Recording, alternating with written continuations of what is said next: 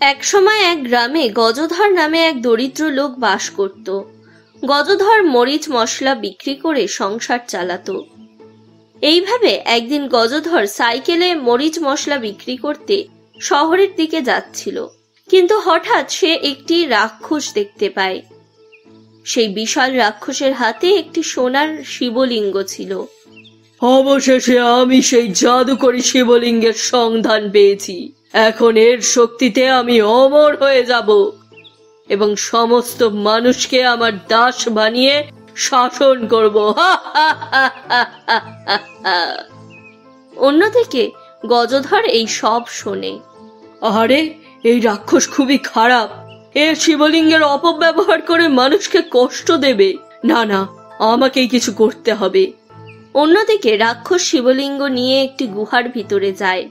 তারপর গজধরও মরিচ মশলার একটি ব্যাগ নিয়ে গুহার ভিতরে প্রবেশ করে। রাক্ষস শিবলিঙ্গের সামনে বসে মন্ত্র পড়তে শুরু করে। কিন্তু গজধর রাক্ষসের চোখে প্রচুর লাল মরিচের গুঁড়ো ঢেলে দেয়। আরে মরে গেলাম! আমার চোখ জ্বলছে! আমি কিছু দেখতে পাচ্ছি না! কেউ আমাকে বাঁচাও! তারপরে গজধর কাছে পড়ে থাকা একটি লাঠি তুলে নিয়ে রাক্ষসের মাথায় আঘাত করে এবং অচিরেই রাক্ষসটি অজ্ঞান হয়ে পড়ে যায়। তারপর গজধর শিবলিঙ্গকে কাছের মন্দিরে নিয়ে যায় এবং সেখানে এটি স্থাপন করে। সাথে সাথে ভগবান শঙ্কর আবির্ভূত হন। তুমি খুব ভালো মানুষ, গজধর। তুমি সেই দুষ্ট রাক্ষসকে শিক্ষা দিয়ে শিবলিঙ্গ মন্দিরে ফিরিয়ে এনেছো। তাই আমি তোমাকে কিছু দিতে চাই। এরপর শঙ্কর ভগবান গজধরের সামনে একটি জাদুর পাত্র প্রকাশ করেন। এই পাত্রের ভিতরে একটি জাদুকরি চাঁদ আছে। তুমি চাঁদের শক্তি ব্যবহার করে যা খুশি করতে পারো। তবে হ্যাঁ সর্বদা চাঁদের শক্তিকে ভালো কাজের জন্য ব্যবহার করবে। এই বলে শঙ্কর ভগবান সেখান থেকে অদৃশ্য হয়ে যান। তারপর গজধর পাত্রটি নিয়ে গ্রামে চলে যায়। আমাদের বাড়িতে খাওয়ার মতো কিছুই নেই। তুমি তো শহরে মরিচ মশলা বিক্রি করতে গিয়েছিলে না? আমাকে কিছু টাকা দাও তো, যাতে আমি দোকান থেকে খাবার আনতে পারি। গজধর তার স্ত্রীকে সব খুলে বলে। মানে আমরা জাদুকরের চাঁদের শক্তি ব্যবহার করে নিজেদের জন্য শস্য এবং টাকা পয়সা প্রকাশ করতে পারি? না না, আমাদের বেশি লোভ করা উচিত নয়। আমি এমন একটা সমাধান করব যা আমাদের আয়ের পাশাপাশি মানুষের উপকারও করবে। তখন গ্রীষ্মকাল চলছিল। তখনই গজধর একটা সমাধানের কথা ভাবে। এখন তো গ্রীষ্মের ঋতু। গরমে সবাই অস্থির। তাই এখন আমি জাদু চাঁদের থেকে একটা সুইমিং পুল চাইব। তারপরে আমি সেখানে স্নানের জন্য টিকিট রাখব, যাতে আমরা কিছু টাকাও পাই এবং লোকেরা গরম থেকে রেহাই পায়। এরপরে গজধর পাত্রের উপর সাদা রঙের বোতাম টিপে দেয়। পরের মুহূর্তেই পাত্রের ভিতর থেকে একটি বিশাল চাঁদ বেরিয়ে আসে। আমি তোমার সেবা করতে এসেছি। তুমি কি চাও বলো? আমি চাই আপনি আমাদের বাড়ির সামনে একটা বিশাল সুইমিং পুল প্রকাশ করুন। তারপর চাঁদ বাতাসে উঠতে উঠতে আকাশে পৌঁছে মুখ থেকে প্রচুর সিমেন্ট, ইট বের করতে শুরু করে।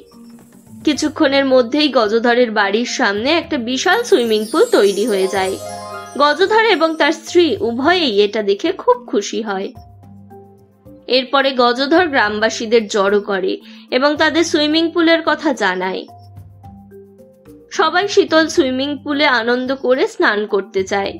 তাই সবাই গজধরকে টাকা দিয়ে সুইমিং পুলে স্নান শুরু করে। আরে গজধর, তোমার এই সুইমিং পুলটা অসাধারণ। জলের সাথে বরফ থাকলে আরও মজা হতো। শোনো মায়াবী চাঁদ, তোমার শক্তি দিয়ে সুইমিং পুলে তুমি তুষার বৃষ্টি করো।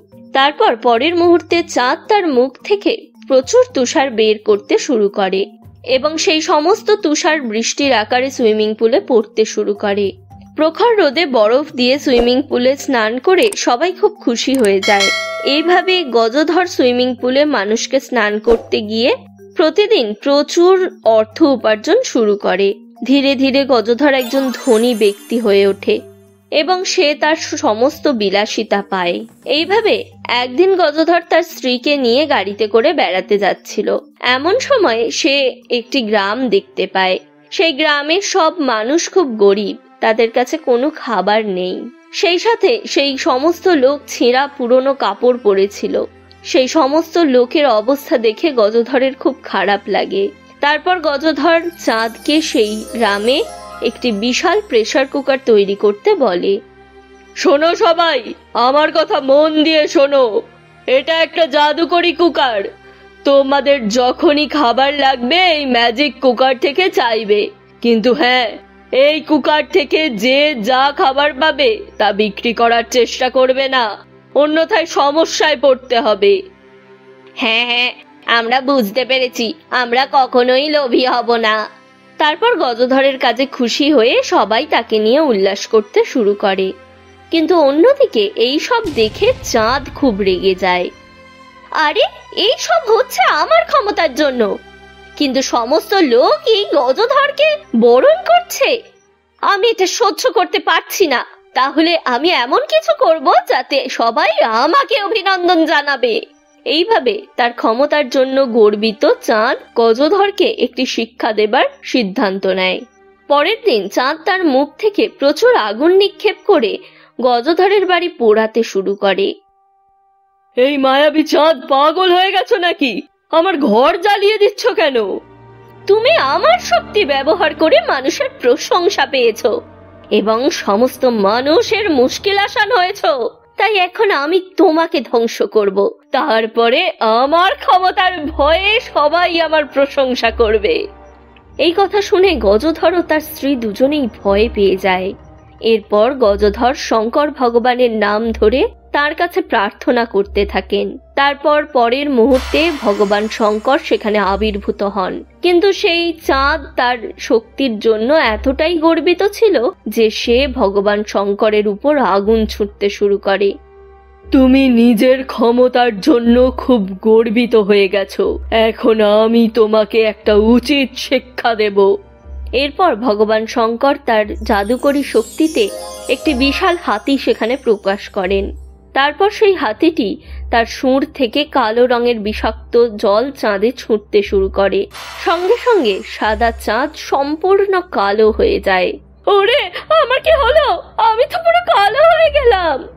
এরপর হাতিটি চাঁদকে তার সুরে মুড়ে দূরে একটি দ্বীপে নিয়ে গিয়ে ফেলে দেয়। সেই দ্বীপে উপস্থিত পোকা মাকড় চাঁদকে কামড়াতে থাকে। আরে না, আমার খুব কষ্ট হচ্ছে। কেউ আমাকে বাঁচাও বাঁচাও। কিন্তু চাঁদের সমস্ত ক্ষমতা শেষ হয়ে গিয়েছিল এবং সে চাইলেও কিচ্ছু করতে পারছিল না। এইভাবে সেই অহংকারী চাঁদ সেই দ্বীপে দুর্বিসহ জীবন যাপন করতে বাধ্য হয়। এই গল্প থেকে আমরা শিখি যে আমাদের কখনোই কোনো কিছু নিয়ে গর্ব করা উচিত নয়। অন্যথায় একদিন না একদিন আমাদের এর পরিণতি ভোগ করতে হবে।